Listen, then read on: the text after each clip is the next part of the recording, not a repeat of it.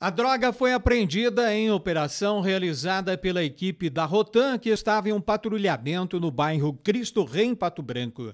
Foram apreendidos 46 quilos de maconha e 70 gramas de cocaína, além de certa quantidade em dinheiro, e a prisão de três homens.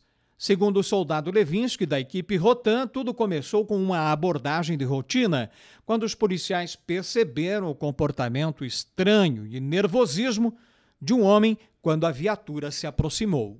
Diante disso aí foram levantadas ali o, informações e que desencadearam na, nas outras mais duas residências aí que foram abordadas na sequência, né?